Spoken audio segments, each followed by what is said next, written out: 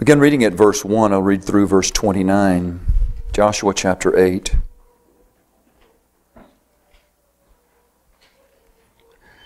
And the Lord said unto Joshua, Fear not, neither be thou dismayed. Amen. That's what the Lord said to Joshua. Fear not, neither be thou dismayed. Take all the people of war with thee, and arise, go up to Ai. See, I have given into thy hand the king of Ai, and his people, and his city, and his land. And thou shalt do to Ai her king as thou didst unto Jericho and her king. Only the spoil thereof and the cattle thereof shall ye take for a prey unto yourselves. Lay thee an ambush for the city behind it. So Joshua rose and all the people of war to go up against Ai. And Joshua chose out 30,000 mighty men of valor and sent them away by night. And he commanded them, saying, Behold, ye shall lie in wait against the city, even behind the city. Go not very far from the city but be ye all ready. And I and all the people that are with me will approach unto the city. And it shall come to pass when they come out against us, as at the first, that we will flee before them. For they will come out after us, till we have drawn them from the city. For they will say, They flee before us, as at the first. Therefore we will flee before them. Then ye shall rise up from the ambush and seize upon the city, for the Lord your God will deliver it into your hand. And it shall be, when ye have taken the city, that ye shall set the city on fire. According to the commandment of the Lord shall ye do. See, I have commanded you. Joshua therefore sent them forth, and they went to lie in ambush, and abode between Bethel and Ai, on the west side of Ai. But Joshua lodged that night among the people. And Joshua rose up early in the morning and numbered the people and went up, he and the elders of Israel, before the people of Ai. And all the people, even the people of war that were with him, went up and drew nigh and came before the city and pitched on the north side of Ai. Now there was a valley between them and Ai. And he took about 5,000 men and set them to lie in ambush between Bethel and Ai on the west side of the city. And when they had set the people, even all the host that was on the north side of the city, and their liers in wait on the west of the city, Joshua went that night into the midst of the valley. And it came to pass when the king of Ai saw it, that they hasted and rose up early, and the men of the city went out against Israel to battle, he and all his people, at a time appointed before the plain. But he wist not that there were liers in ambush against him behind the city. And Joshua and all Israel made as if they were beaten before them, and fled by the way of the wilderness. And all the people that were in Ai were called together to pursue after them. And they pursued after Joshua, and were drawn away from the city. And there was not a man left in Ai or Bethel that went not out after Israel. And they left the city open and pursued after Israel. And the Lord said unto Joshua, Stretch out the spear that is in thy hand toward Ai, for I will give it into thy hand. And Joshua stretched out the spear that he had in his hand toward the city.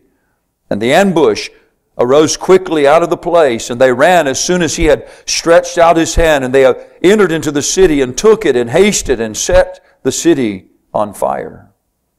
And when the men of Ai looked behind them, they saw, and behold, the smoke of the city ascended up to heaven, and they had no power to flee this way or that way.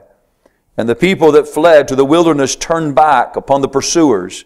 And when Joshua and all Israel saw that the ambush had taken the city, and that the smoke of the city ascended, then they turned again and slew the men of Ai.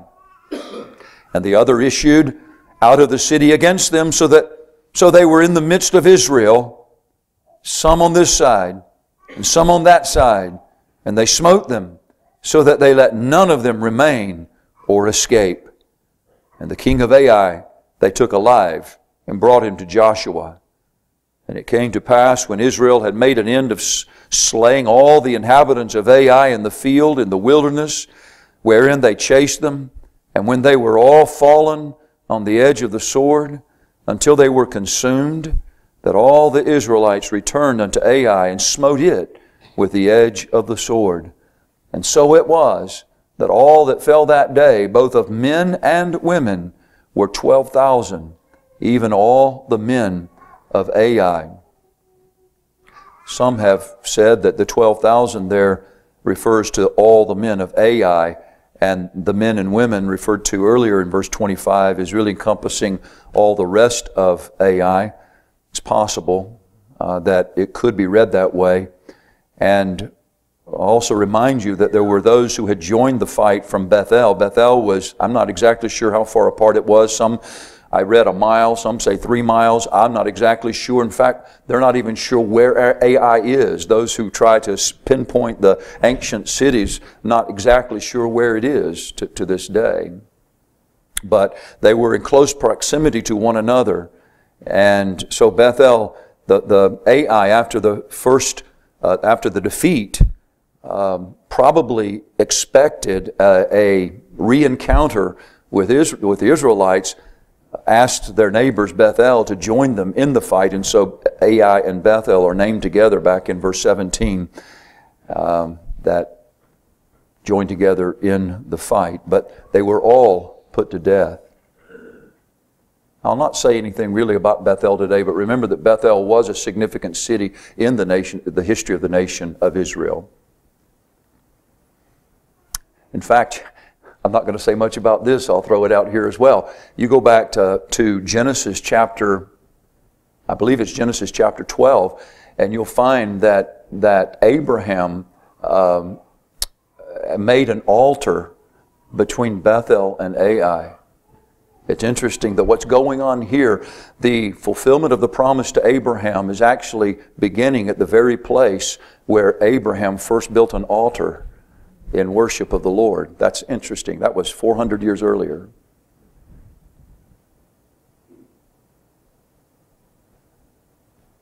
Verse 26 For Joshua drew not his hand back, wherewith he stretched out the spear, until he had utterly destroyed all the inhabitants of Ai. Only the cattle and the spoil of that city Israel took for a prey unto themselves, according unto the word of the Lord which he commanded Joshua. And Joshua burnt Ai and made it an heap forever, even a desolation unto this day. And the king of Ai he hanged on a tree until eventide. And as soon as the sun was down, Joshua commanded that they should take his carcass down from the tree and cast it at the entering of the gate of the city, and raise thereon a great heap of stones that remaineth unto this day. The writing of, the, of, the, of this account. 400 years after God promised Abraham that this land would be inhabited by his descendants, the sins of the Amorites are now full.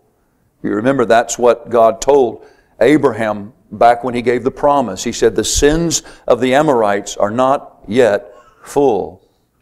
But as God promised, they are now being expelled from the land because of their wickedness, not because of the righteousness of Israel but because of the wickedness of the Amorites. This is what makes the, the, the defeat at Ai so alarming to Joshua. You remember back in chapter 7 and verse 7, Joshua in prayer said to the Lord God, Wherefore hast thou at all brought this people over Jordan to deliver us unto the hand of the Amorites to destroy us? He remembered the promise that God gave to Abraham. This was a fulfilling of the Abrahamic covenant. And so for them to encounter Ai and for Ai to rout them and to discourage them and to make them essentially weak as water in heart, something was going on. Something wasn't right. Joshua was confused. As well he should have been. As oftentimes happens to us, doesn't it? When things happen in our lives that don't seem to match the promises that God has made to us. But God wants a holy people. Did you know that holiness is more important to God than it is to you and me. And it's more important to us than many other, the promises that God has given. It's more important to us than even some of those promises, so that some of those promises will be withheld from us as people until we get things right in our lives. That is a clear message that's being sent to us in Joshua 7 and 8. Jehovah God is no more pleased with sin in His own people than He was the Amorites. You remember what He said to the nation of Israel. If these same sins characterize you, I will spew you out of the land. You remember those promises that God made to Israel? And so at the very outset of their encounter, possessing the land that had been promised to them, God is making a point to His people. Obey me. Listen to me. Don't, don't take cut shorts. Don't do your own thing. Do what I say to you. Chapter 8 is not an account of Israel simply taking a larger army and overpowering Ai. It is a larger army, but that's not the point. Whereas they had two or three thousand before, now they've got 30,000.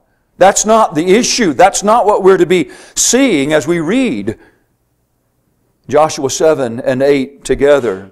The fact of the matter is, had Israel not dealt with sin in the camp, which we've already looked at in previous messages, had they not dealt with sin in the camp and had they not followed the Lord's instructions, they would not have succeeded the second time, regardless of how many people they took. There are lessons here for us. Lessons for us as individual believers, lessons for us as a church. This is a message about the sanctification of God's people. This is a message about spiritual recovery today as we move into Joshua chapter 8.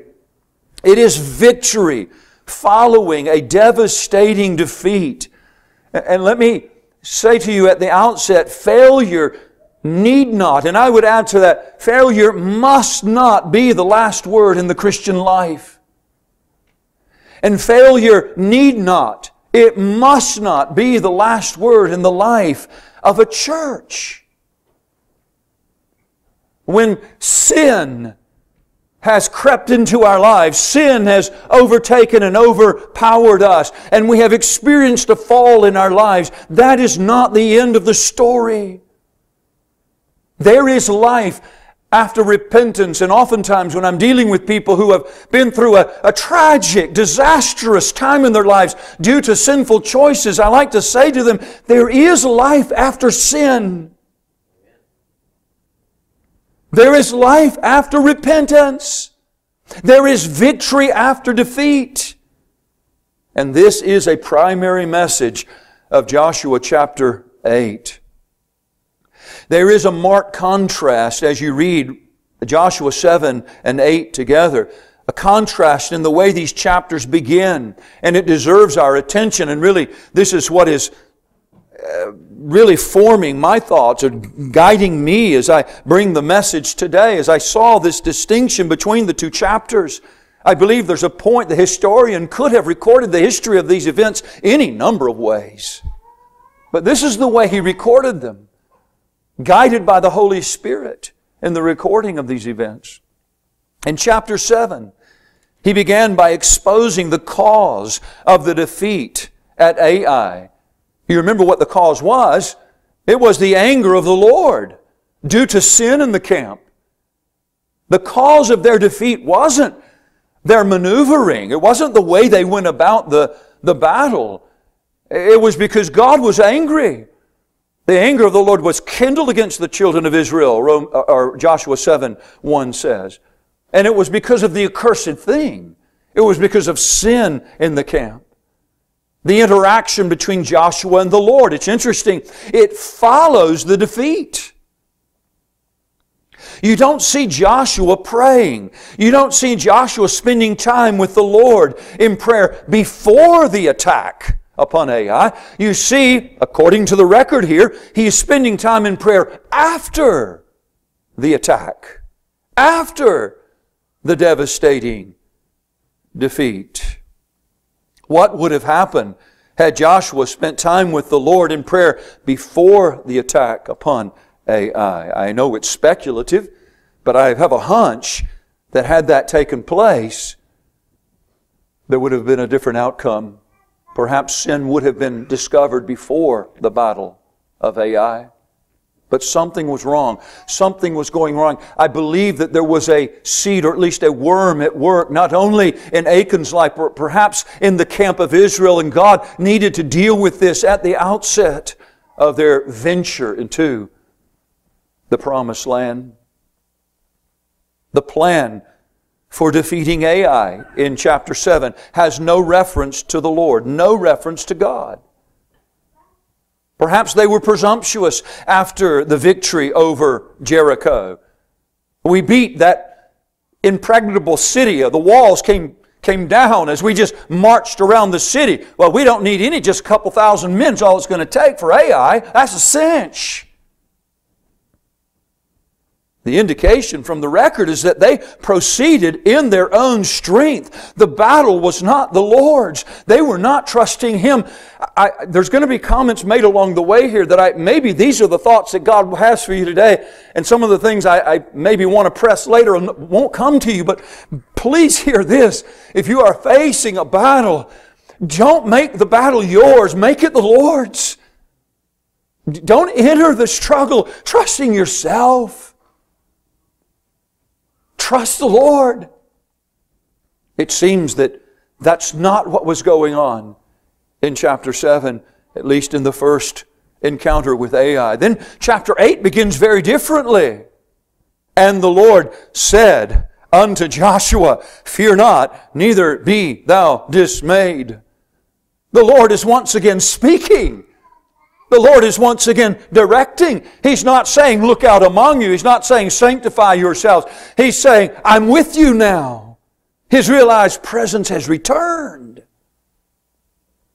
And he says in verse 8, or excuse me, chapter 8, verse 1, the latter part of verse 1, he says, I've given into thy hand the king of Ai and his people. Excuse me, back up. Uh, see, you see, rise, go up to Ai. See, I have given unto thy hand the king of Ai and his people and his city and his land. See. See. It's interesting. This is language very much like that which are spoken before the battle of Jericho. Go back to chapter 6 and verse 2. When Joshua encountered the captain of the Lord's host, and the Lord said to Joshua, See, I have given into thy hand Jericho and the king thereof and the mighty men of valor. And then the instructions were given. Here again, before this battle of Ai, as the way, as, as it should have been, the Lord is now saying to Joshua, see, I have given it to you. See, this is an expression of faith. It's the language of faith. See. It's the language that the people of God are familiar with. As we live by faith, as we walk by faith, we're able to see. We're seeing what others can't see. There's a confidence that comes to us that doesn't come otherwise when we see what can only be seen by faith. Unbelief, on the other hand, sin, on the other hand, is blinding, it's distracting, and it depends upon fleshly reasoning. We only need two or three thousand. We got this one. We don't need to consult God. We don't need to trust God. We've got this one. I want to say to you at this point that confidence in battle is not necessarily an evidence of faith. Confidence in your struggles, confidence in your life, confidence in the choices you're making is not necessarily an indication that you are seeing. Faith is guided by the Word of God. Faith responds to what the Lord says. And so you have it in verse 8. Joshua says, according to the commandment of the Lord shall you do. See, there you have it again. See. That's a pretty significant word that's used. This is a matter of faith. A matter of faith is the Lord has spoken and I see. I see what He's saying. And I'm going to march according to the orders of the Lord. Verse 27 Only the cattle and the spoil of that city Israel, of that city Israel took for a prey unto themselves according to the word of the Lord which He commanded Joshua. They, they went, you see, after the first knowing what the accursed thing was, they didn't overreact with Ai. They didn't say, well, we better not take anything now. I mean, look what happened when Achan took something from Jericho. Well, it was an accursed thing. They were told not to. Listen, you don't have to build walls that God doesn't build. If God says it's okay, it's okay. It's not a matter of faith to go beyond what God says. It's a matter of faith to take it. If God says take it, take it. If God says enjoy it, enjoy it. It's not a matter of faith to say, oh no. In fact, I'm going to build a fence over here and over here and over here and over here. This is a pretty significant point that I really hadn't intended to make, but it's just coming to me right now. Maybe it's needed. Do you understand what I'm saying? Faith is seeing what God says and acting accordingly. And doing and taking what God has given you the liberty to do and to take. Not what you and your flesh has determined or that makes sense. And I say that to you because unbelief and sin can be blinding, distracting, and it depends upon fleshly reasoning. We need to be careful there. Just because there's confidence doesn't mean it's faith. Now, there is much encouragement in this account, especially if you're here today and you're on the other side of defeat and you're finding difficulty getting back into the fight. Maybe feeling like you want to retreat to what feels like a safer place. What would be a, a safer place? Well, for for Joshua, it was on the east side of Jordan. He said, Would to God we had been content on the other side of Jordan. It's kind of like he wants to go back. He wants to retreat. And God's saying, No, retreat is not the answer. Backing up, going back is not the answer. The message of God to our souls on the heels of defeat is rise up and fight. I've given you the land, God says. Do as I say, and you're going to be blessed. We have that theme in other places. Uh, uh Psalm 37, you can read it later. That you'll find that theme in Psalm 37. You may, you may fall. You may fall, but, but, but God will not leave you in that place. He'll restore you. And in the restoration, there'll be blessing. I want you to notice on the other side of defeat, on the other side of dealing with the sin, victory is promised. Therefore, you hear these words in chapter 8, verse 1 Fear not, neither be thou dismayed.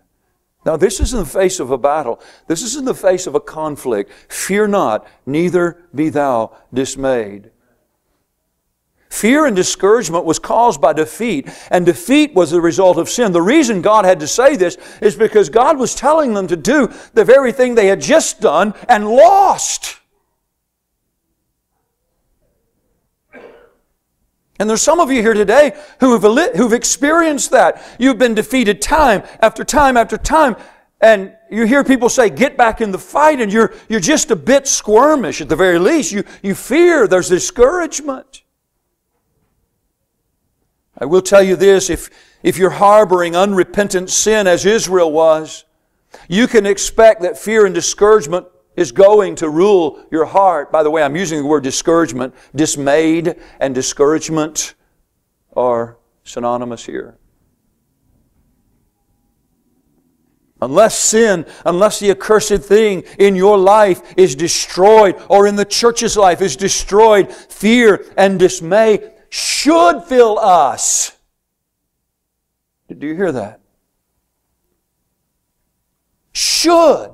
Destruction is all we can reasonably expect. I go over to Galatians chapter 6 and I hear these words For he that sows to the flesh shall of the flesh reap corruption. That's all. That's all you can expect. You keep sowing to the flesh, and that's all you can expect. You ought to fear if you're not dealing with a cursed thing a forbidden thing, a thing God says, that's mine, or God, or God says, don't touch that, don't deal with that. If we're not willing to face our sins and put them away, God will remain against us. God will be angry with us. Oh, listen to me. There is no condemnation to those who are in Christ Jesus. There is no eternal destruction. If you're in Christ here, do not misunderstand what I'm saying. When we speak of the anger of God against you, it is a, it is an, it is a loving anger. Hey, preacher, that sounds strange. I didn't have time to trace it out, so you do your homework and you can prove me wrong. If you can, do so. But it just struck me, and I, I quickly traced the verses. Uh, I'm saying I, I, didn't do my homework in that I didn't have time. It came to me just before the service today, so I, I couldn't delve into looking at every single verse. But as I did a cursory review of the verses, this is what stood out to me. When you find this expression, the anger of the Lord was kindled, or the wrath of God was kindled. Do you know who it's referring to? It's not the heathen nations of the world. It's his own people. That's interesting. It's his own people. In other words, fast forward to those of us who are in Christ on this side of the cross. God God's love has been demonstrated in that, in that Christ is our Lord and our Savior, and there is no eternal destruction. But as a father chastens the child whom he loves, so will our Heavenly Father. And there is anger in that. And you can kindle the anger of God. You can kindle the wrath of God, if you want to use that word. Not a forever wrath, not a condemnation wrath but I love you, wrath, and I'm going to correct you, anger. So there is a, a measure to that wrath, a measure to that anger. And you see that in the Word of God in reference to Israel. It was measured. You see, with the unbeliever, with the ungodly, if you're here outside of Jesus Christ, there will be no measure to the wrath of God poured out upon you. The wrath of God hangs over you, ready to be unveiled in the day of judgment. But for the believer, that's not true. For the believer, it's a measured anger, a measured wrath in this lifetime that is given to us in the form and for the purpose of chastening, to correct us, to help us. Brethren, we cannot, we must not take sin lightly individually or as a church body, we must not take sin lightly. Well, Israel did, but then God dealt with them. And there is this, there is the, the they, the scripture says that, that fear and discouragement was to vanish from them. God says, fear not, nor be dismayed. Fear not, nor be discouraged. And this happens when we are assured that God is with us. The devastating defeat at Ai was the result of God withdrawing His presence. We saw that. And God says, until you deal with this, my presence is going to be withheld from you.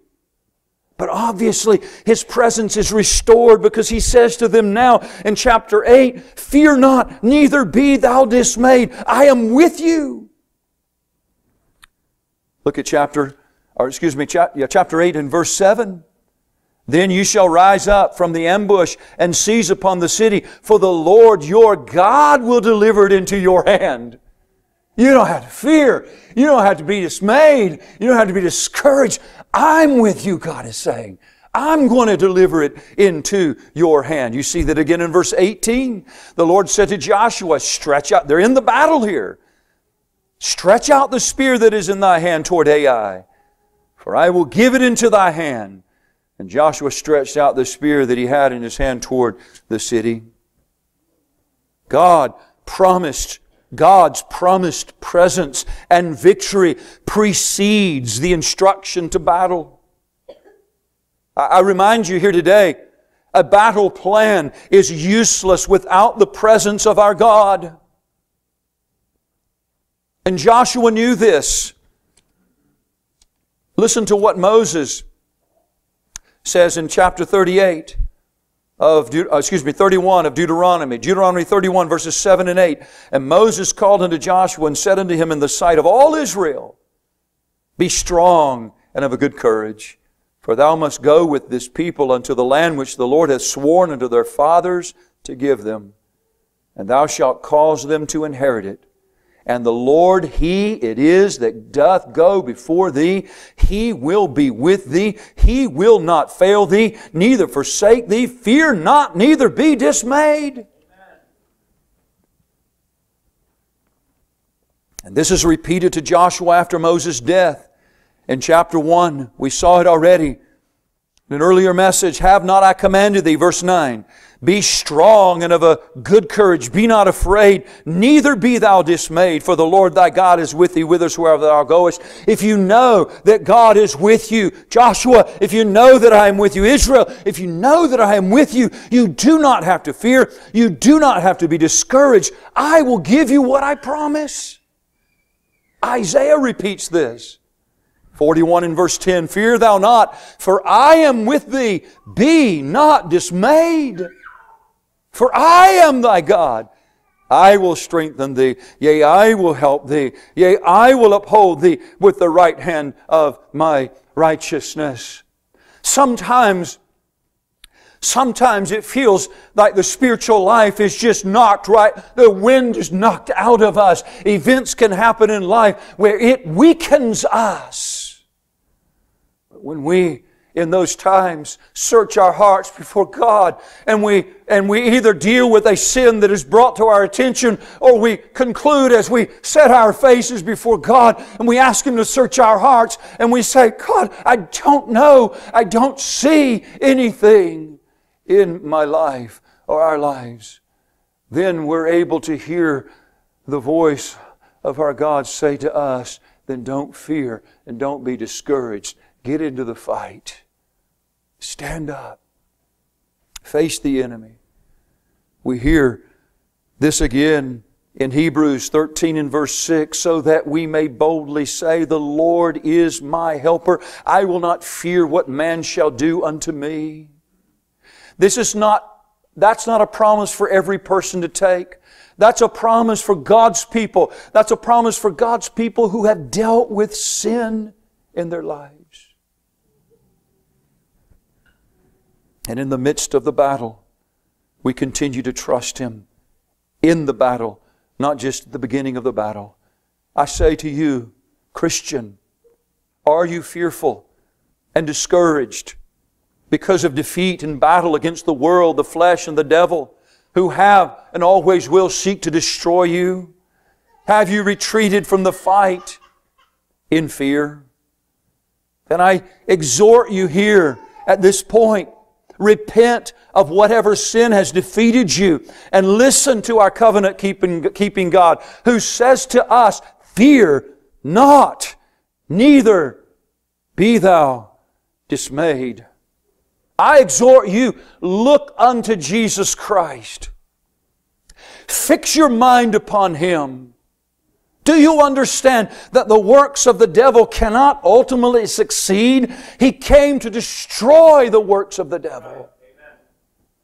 Do you understand that sin cannot have dominion over you? There is no sin that is so dominating in your life that you cannot overcome, Christian. I'm talking to you, Christian. The world is crucified to you. The flesh is not your master. And so you must face the enemy without fear or discouragement. But what if I fall again? That's fear. Don't face the enemy with fear. Face the enemy with the confidence that God is with you. You have a helper. Jesus Christ has committed Himself to you without fear or discouragement. But this is the foundation. This is not the end of the story. This is the foundation. If that's all you get from the message today, you very likely will leave and fall flat on your face. Because the story goes on, doesn't it? There's a reason why God says, Fear not, neither be thou dismayed. It's because they had something that they needed to do. Faith needed to act. That's why the scripture says victory comes from God through faith. And so God says, Fear not, neither be thou dismayed. And then clear instruction follows. Yes, there's a promise, but there's a path to receive the promise. And that path I call the path of faith. It's the path of faith. God is not blessing Israel in chapter 8 with victory because He's a sentimental God and feels sorry for His people after the first defeat. God does not promise His protecting presence and blessing upon us no matter what we do. God says, Fear not, neither be thou dismayed. And then he says, Take all the people of war with thee and arise, go up to Ai. See, I have given into thy hand the king of Ai and his people and his city and his land. Thou shalt do to Ai and her king as thou didst unto Jericho and her king. Only the spoil thereof and the cattle thereof shall ye take for a prey unto yourselves.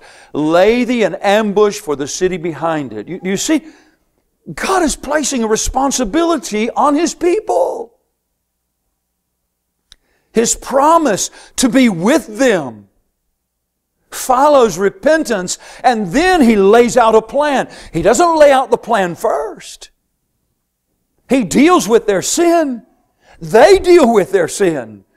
And then he says, uh, now, now, don't fear. Don't be dismayed. Don't be discouraged. Rise up. Get into the battle. Here's how I want you to do it. So the battle plan that was laid out before Joshua and Israel includes 30,000 mighty men of valor equipped individuals, gifted individuals. It included a nighttime maneuver. It included an ambush by way of a decoy. God told Joshua that Ai, aided by Bethel, would be drawn out of their fort if he would retreat as they did in the first attack. Think about that. That kind of almost sounds like weakness. Are you sure? Lord, are you sure that's what you want us to do? How can we be? There is no discussion like this. I'm just, I'm just bringing in a discussion. You know, are you sure if we, if we turn around and run like we did last time, what, what, are they really, are we really going to win? But Joshua, in faith, led Israel exactly as God commanded.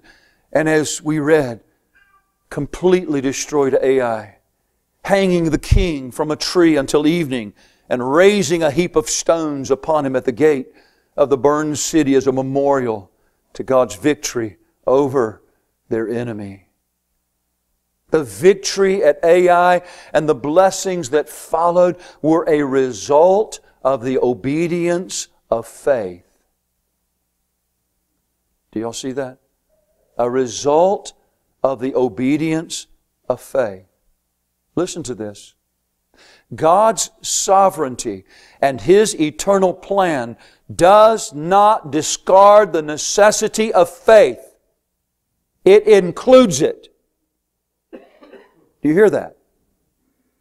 God's sovereignty and His eternal plan does not discard the necessity of faith, it includes it. Had Joshua and Israel not obeyed, Ai would not have fallen.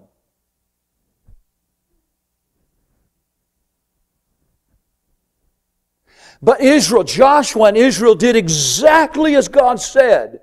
And the result was exactly as God determined it to be.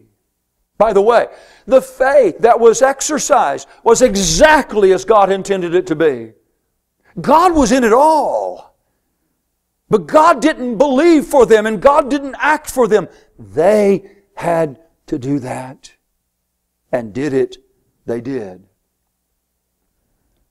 3,000 warriors, humanly speaking, was more than enough for an open frontal attack against Ai, but it would not have been God's way.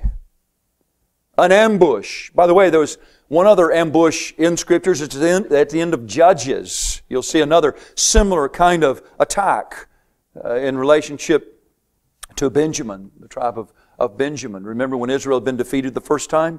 And an ambushment was set up then as well, similar to this one. It was a, a military maneuver that came from God's instruction. By the way, it's a military maneuver that's been used ever since in battle. A decoy. And we could get sidetracked with some thoughts on that one, but we'll, I'll leave that one alone. Joshua was trusting God. Brethren, we must engage the enemy God's way. If we don't engage the enemy God's way, we are not living by faith. We're not walking by faith. And we cannot rest upon a concept of the sovereignty of God that He's going to give us the victory anyhow. And oh, we must not forget our dependence upon God in the battle. You see how these go hand in hand. In, in other words, that's what faith is all about. Faith is saying, I trust God. I believe God. He's going to give me the victory as I do what He says. He's going to give the victory. The evidence that Joshua was trusting God is he held his hand, the spear in his hand. He held it up until the defeat was total. Verse 26 Joshua drew not his hand back, wherewith he stretched out the spear until he had utterly destroyed all the inhabitants of Ai. Does that kind of remind you of a, an earlier battle with the Amalekites where Moses was up on the top of the hill and was lifting his hands? And you know who was down in the valley fighting? Joshua. Joshua. And then when Moses' hands were lifted up, they were victorious.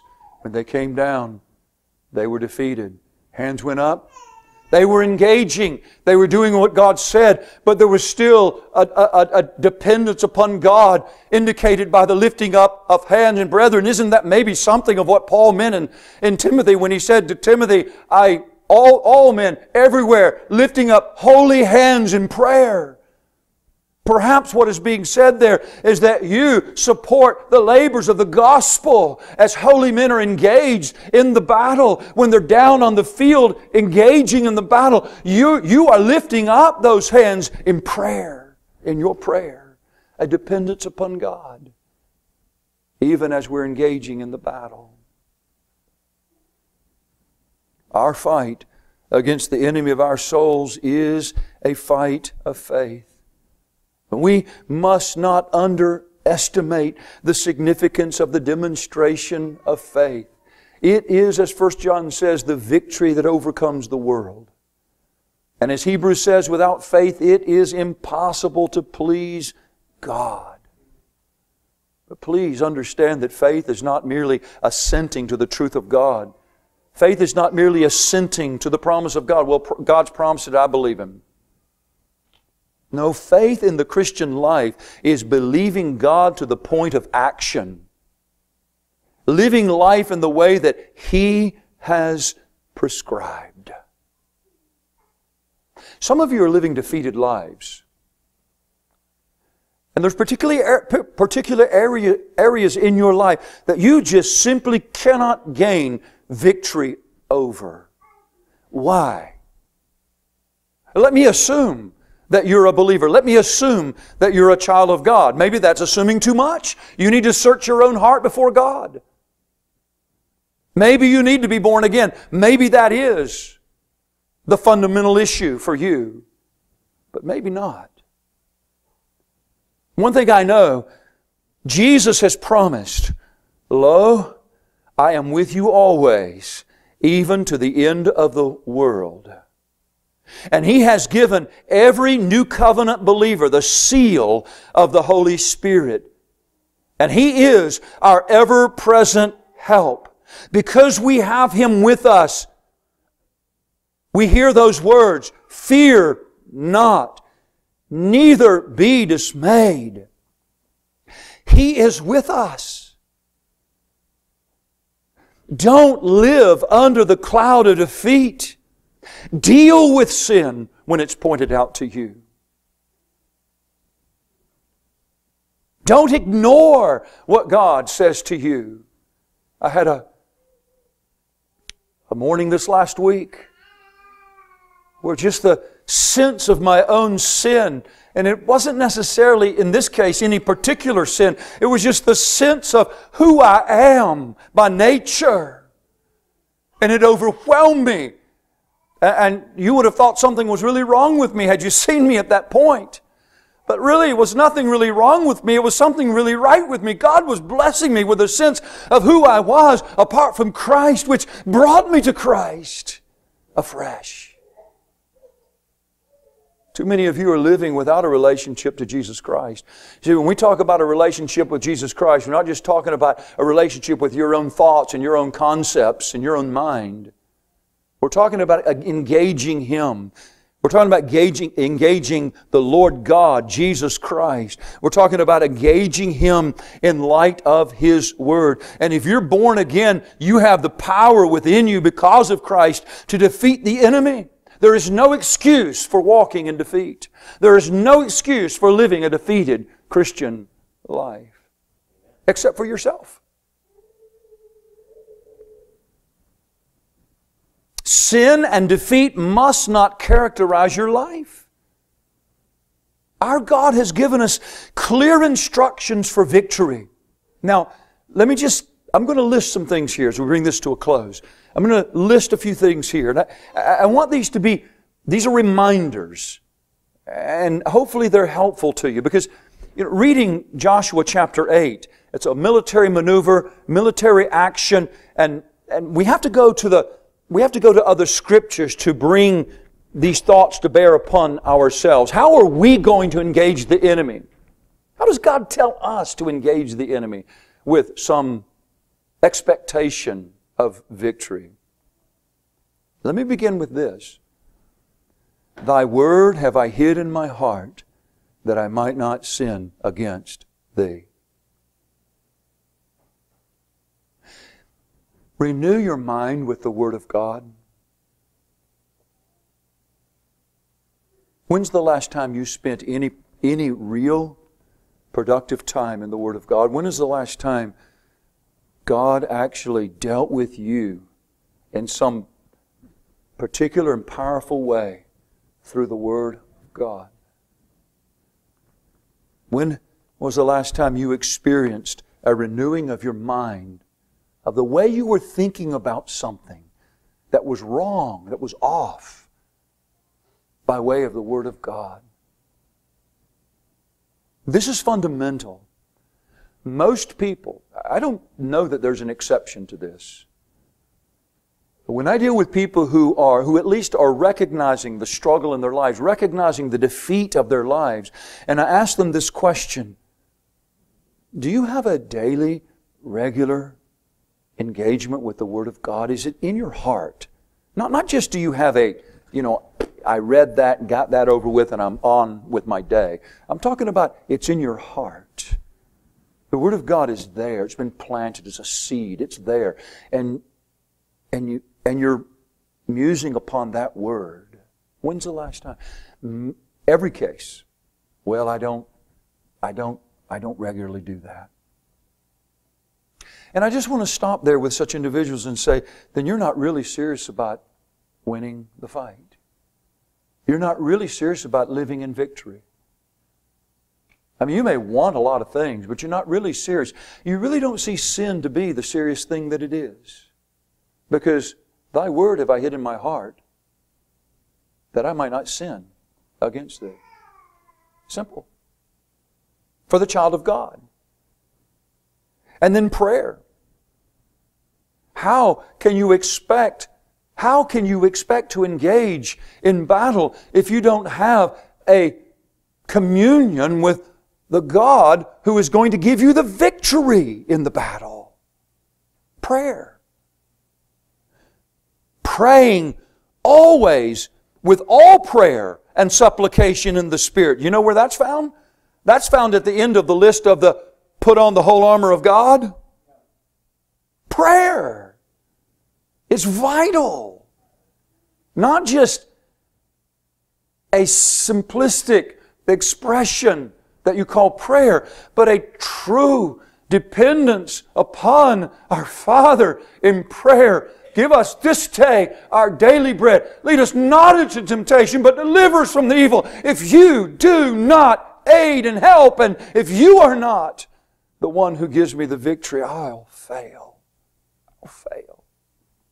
Do you even believe that? So much so that you actually pray to Him and talk to Him in that way. Submission. Do you realize that if, and, and the Word and prayer bring submission, produce this, these all kind of work together. Here are some practical things that the Scriptures tell us to do. You say, why do you say submission? Because James 4 7 says, Submit yourselves therefore to God. Resist the devil, and he'll flee from you.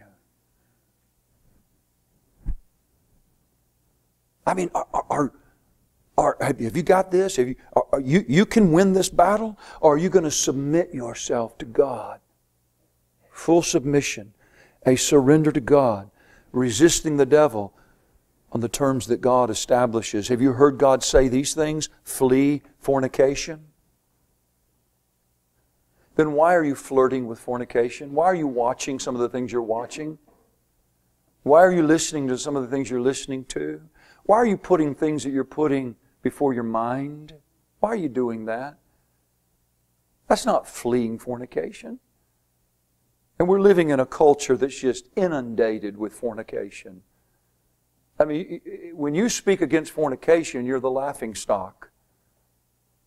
It's recreational sport. Fornication is a recreational sport in this country. And maybe the world, I don't know, but at least in this country. We're not hurting anybody. We're consenting adults. Flee fornication. Flee youthful lusts. Do you hear that? This is, this is a battle plan here. And it comes from God. And if you're living by faith, you're in submission to God, you're listening to Him. He says, flee. He says, abstain from fleshly lusts which war against the soul. Abstain. Your flesh is weak, and this is not just sexual lust, it's any lust, any attention that your flesh is wanting to bring on itself. Abstain from anything that will cause trouble for you. How about this? For if you live after the flesh, you shall die. But if you through the Spirit do mortify the deeds of the body, you shall live. And you can say all you want about what that may or may not mean, but it says, it sounds pretty clear. I better be mortifying the deeds of this body if I want to live. That means I've got to get radical. Jesus put it this way Does your eye offend you? Think about it. Your hands offend you? Cut it off. Oh, is, is Christ instructing us to get, to get physical? I don't believe that's the point at all. Because the fact of the matter is, you can pluck your eye out and still be full of lusts. It's simply take radical measures in dealing with sin. Radical measures. Or at least what others may view to be radical. Sin is that harmful to us. Through the Spirit, did you hear that? Through the Spirit, mortify the deeds of the body. Through the Spirit. Don't fight the flesh with the flesh. You start, you start engaging in all kinds of fleshly activities to, de- to defeat the flesh, you will never win. Through the Spirit. Mortify the deeds of the body, you shall live. One more. Galatians 6:14. But God forbid that I should glory save in the cross of our Lord Jesus Christ, by whom the world is crucified unto me and I unto the world. Can I read that to you again? God forbid, Paul said. Can you say this? Christian? God forbid that I should glory, save, or accept in the cross of our Lord Jesus Christ, by whom the world is crucified to me and I unto the world. The world has lost its appeal, its luster. Because my mind, my affections, have been captivated by the glory of Jesus Christ, the cross of the Lord Jesus Christ, who He is and what He has done to deliver my guilty soul. Is Jesus more precious than anything else your heart may desire in this world? Is He really? Can you honestly say yes to that? I don't believe we ought to quickly answer that question lest we deceive ourselves? Is he worthy of full obedience? Full obedience, not picking and choosing. Not what's comfortable for you, not what fits your agenda. Full obedience in every area of life. If so, past defeat is not the end of your story. Do you hear that? If you are glorying in the, in fact, I would suggest to you that past defeat because of sin that's been identified, brought to the cross, makes the cross of Jesus Christ shine that much more glorious. And motivates you. A, I will not stand in your way if the cross of Jesus Christ is your glory. So I say to you and to me, if you have experienced defeat, if you have stumbled, if you have chosen a path through whatever temptations in your life, the enemy has overcome you. I say to you, identify that, repent of that, come to the cross with that, see Jesus Christ, who, by the way, he took the curse upon himself. I know at the end of Ai, the king was hung upon the tree. Do you know the king hanging upon the tree was not the, was not the curse? It was the curse that hung upon the tree. The accursed thing was hung upon the tree. And so it happened in Christ. The curse was taking a taken the curse. He took our curse upon himself there upon the cross. And that ought to motivate you to rise up and to press on by grace through faith and to face the enemy with the victory that comes to those of us to whom God says, Fear not, nor be dismayed. Dismayed, do not be discouraged. Can I encourage you? Don't let your past sins define you. Okay?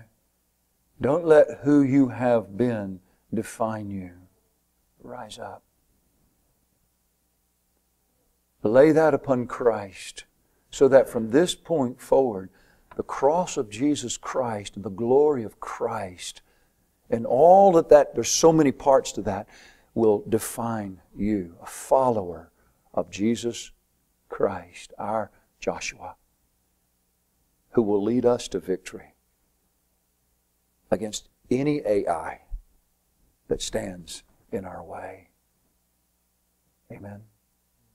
May the Lord help us. Let's pray. Father, we thank you for the encouragement of your word, for these examples that you've given.